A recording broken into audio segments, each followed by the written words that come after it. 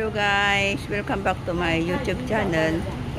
Guys, ah, ito yung mga tinda ng ate ko. Mayroon siyang tindang donut. Ayan ang donut niya.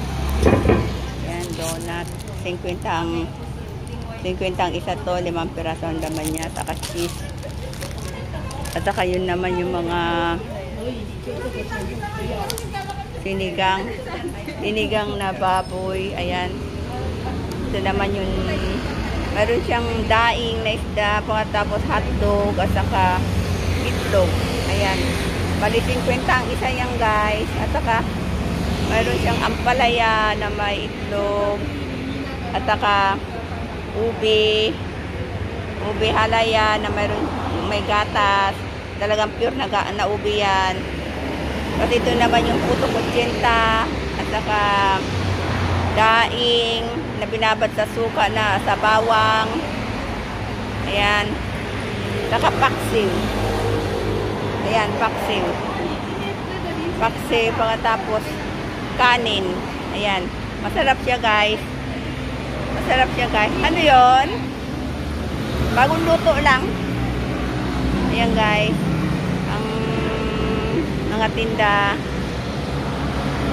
Sinigang bagong luto lang yung mga yan. Okay guys, sandali lang. Okay na guys, ayan na yung mga papasok sa papasok na sa trabaho mga OFW to na mga kwan. Ayan na sila. Ayan na sila guys. Dati itong mga OFW sila. Malaking company yung pinapasukan nila sa ASI. Ayan. Ano yon? Tingin lang kayo. Ayan.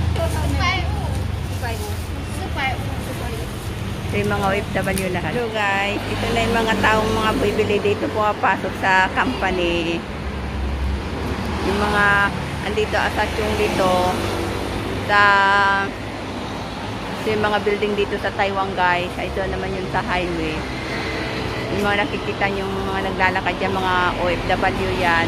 Mamaya, may mga parating pa ditong iba. Yung mga, ayan guys, oh.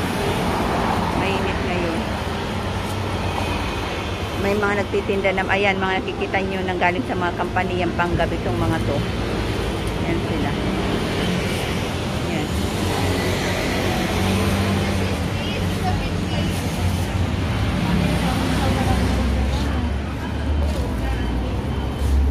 Okay guys, thank you for watching. Lalabas na yung mga tao. Ano yon?